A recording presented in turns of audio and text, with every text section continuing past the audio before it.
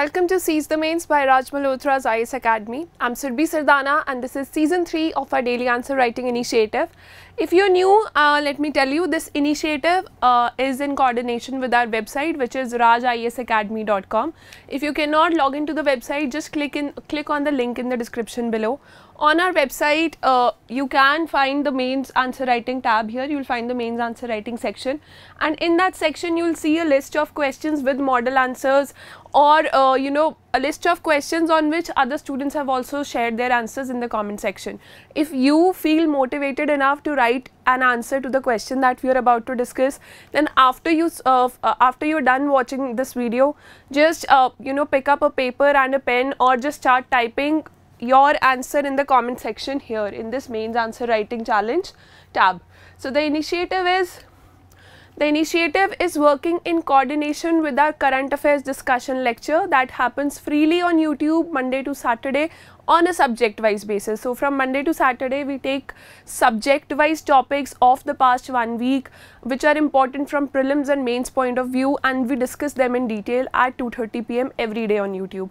Also, uh, a question is put to you there uh, with regards to the questions that are uh, with regards to the uh, topics that get discussed and uh, that question gets a discussion here in Seize the Mains and we also uh, check your answers, give you our feedback entirely free of cost. So, let us see what is the question. Yesterday there was a discussion on science and tech and geography. So, there was this question asked that ISRO has been one of the most successful organizations in the space sector, very true. However, the changing uh, times demand and involvement of this uh, involvement of private sector in space. Comment and answer in 150 words.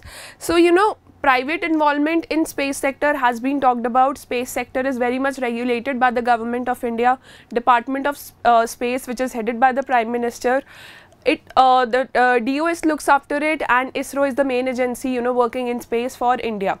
But uh, as we've seen in the international scenario, there is a lot of private involvement uh, involvement happening, especially when we see you know results results of agencies like SpaceX which work for USA. So as far as this question is concerned, it is a comment question. So first of all, uh, you have to address the statement that is given. ISRO has been one of the most successful organizations in the space sector. So this statement, the first statement will help you write your introduction and it will give a direction to your answer. What you have to keep in mind, you do not have to criticize any of the initiatives of ISRO. You do not have to talk about their initiatives, ISRO's initiative in detail or about a particular initiative. What you have to write down is take a positive approach with regards to ISRO's successes till date and the changing needs of time, the changing demand of time which uh, demands that private sector should be included. So, let us see how we will frame this answer. First of all, we will start by writing about the space journey of India and about the successful missions that have been carried out by ISRO. So, that this gives a boost to our answer that yes, we know about the background, this will be very clear to the examiner in the introduction itself. So, uh, in early years, India's space program was obviously constrained by a lack of resources, but the country found innovative ways of getting ahead in space. So, lack of resources, but innovative ways. So, uh, this is a very positive start for your answer. Then talk about the successful missions of ISRO and as yesterday we discussed in the current affairs class, you can talk about the upcoming missions of ISRO which if successful will like transform the journey of ISRO into an entirely modernized, a formidable organization in space research and space missions. So, ISRO with successful and economical, successful and economical part is very important because ISRO has been carrying out these missions at a very much lesser price as compared to developed nations especially you know uh, missions carried out by NASA and European Space Agency. So, when, whenever you talk about ISRO success is one thing, economy is another. So, like development of uh, PSLV that is uh, ISRO's workhorse, GSLV Mk3 Mars orbiter mission, Chandrayaan etc. So, GSLV Mk3 is one of the latest successes because of which we have been able to launch Chandrayaan and we are planning to launch Gaganyaan and uh, there was a time when ISRO collectively launched like 104 satellites in orbit. So you can write that also. And about, talk uh, a little bit about the upcoming missions, uh, which are Gaganyaan, Chandrayaan 3, Aditya L1 and SPADEX as we discussed yesterday.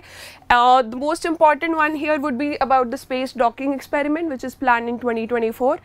So, you can conclude your introduction part by saying that ISRO, ISRO is surely heading towards a formidable position in space, thus benefiting the citizens of India on one hand and the global scientific community on the other, which is the responsibility of every research organization sending missions into space. So, ISRO's position has been justified. The first part of your answer has found a brief explanation in your answer and it will be a treat for the examiner to read this. Now the linkage point. Linkage point will introduce your body paragraph. What is the context of question? What is the question demanding? So linkage point is an introduction to the body paragraph. So here give a twist to your answer that why do we need private sector in space? In 2022, the space sector is witnessing a boom which is similar to the boom that IT sector experienced in 1990s or in like early 2000s uh, the biotech sector experienced. So, we do not want to be left behind hence to be fully included in this shift and uh, to reap its benefits India needs to have an active involvement of private sector in space activities. This is made clear by the following points. So here you can talk about the points that why do we need space uh, like private sector in space. First would be the boost to economy. It has been estimated that by 2040 the space economy market is set to grow over US dollar 1 trillion. And as of now the involvement of space tech uh, the involvement of India in space tech is around 3.6 percent while the involvement of United States of America in space tech agencies is around 56 percent. It is more than 50 percent or around like 60 percent of the world space tech is established in the United States of America. So we need to you know cover up this gap as soon as possible because we do not want to be left behind secondly it's about the low cost First of all, ISRO has launched so many missions and you know been awarded for its low cost, been appreciated for its low cost. With the involvement of private sector, the entry uh, entry of private sector has begun to drive down the cost per launch through innovations such as reusable rockets. So, if private sector can come in uh, through a public-private partnership model or through an entirely private model or through you know commercialization, then it can decrease the cost of space missions that ISRO is sending or that we as a nation send. So, space activities can become less costly in the coming years if we in include the private sector. Then there is greater pool of resources. You have a limited land, labor and capital, especially capital. So, private sector participation actually increases this pool of resources because it knows no borders. It will bring more funding and experience with increased role of private sector, ISRO can concentrate more on its path-breaking innovations. ISRO can focus more on the national security or on the strategically important missions which are important from the country's point of view or from the research point of view and missions for example like a mission uh, to clear space debris that can be delegated to the private sector. So, the, then there is risk, risk sharing when you know Chandrayaan 2 was launched and the orbit uh, and the orbiter was set in place the orbiter was there in the orbit of moon but the lander could not land. So, there was a loss of a lot of money and uh, money and resources. So, it was you know a very big moment for the country because a lot of money goes behind launching such missions and then if such missions fail, it becomes a disappointment for the scientific community, for the scientists working at ISRO, for the political community who had been backing up them and for the citizens uh, and for the citizens at large. So, this risk gets shared uh, when the private sector is involved especially not just the risk in terms of capital. The chances of a risk the chances of some failure they also reduce because more people more minds and more innovation is involved then uh, fifth we have this uh, we can reap our demographic dividend. There is a presence of budding entrepreneurs in our country. In fact 60 startups have already been registered with the uh, recently launched ventures by the government of India. So out of those 60 startups majority are there for clearing space debris and innovative things like you know small small things which cannot be targeted by ISRO on a day to day basis. So presence of budding uh, entrepreneurs is there in India. We have innovative minds.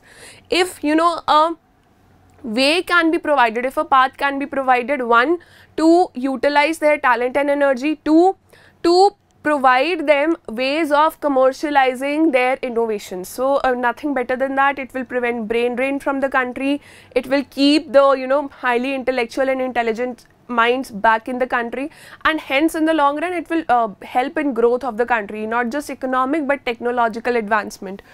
Uh, the sixth one is about technological advancement. So, private sector always comes up with new kinds of technologies which are faster because innovation is faster when it happens through the private route, route because uh, there are many loopholes uh, which are not present in the private sector.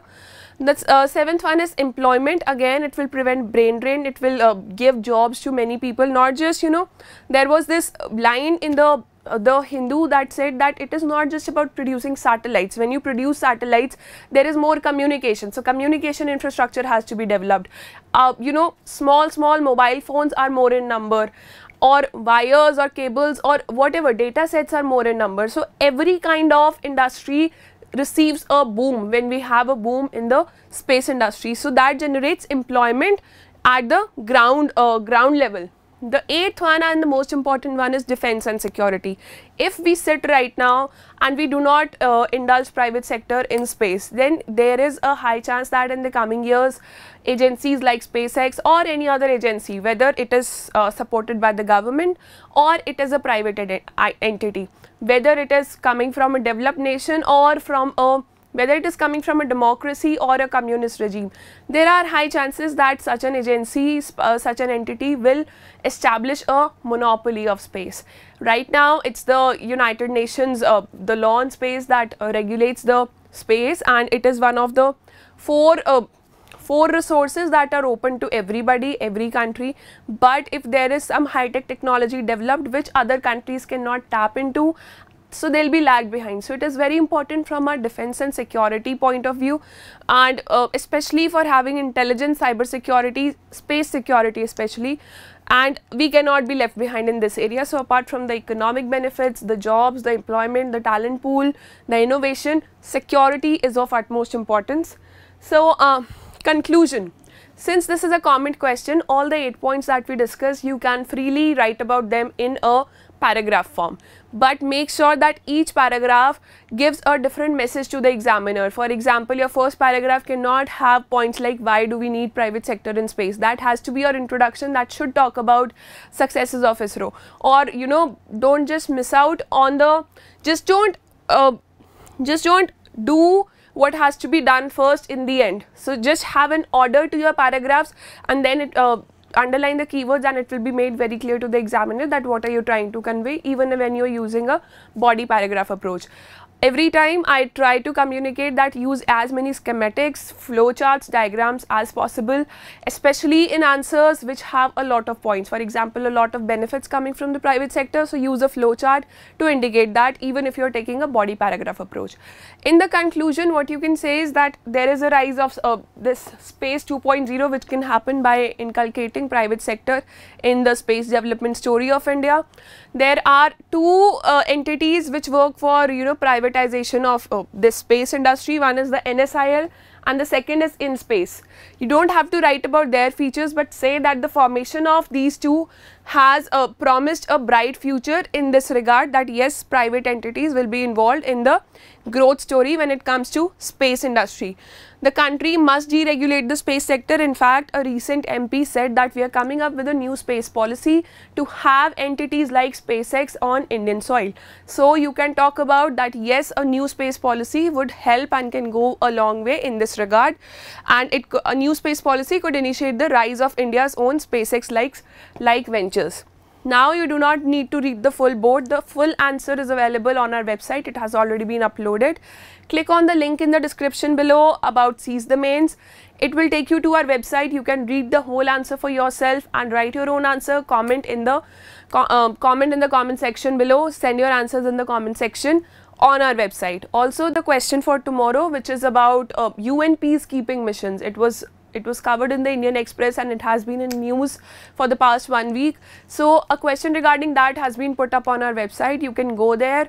You can watch Snigdha Ma'am's lecture which, uh, which is on YouTube about, you know, weekly current affairs of IR and security to get a better understanding of that topic and then write your answer and post it on the website. I'll see you with another discussion tomorrow about UN peacekeeping mission. So stay tuned, subscribe if you haven't already and keep working hard. All the best.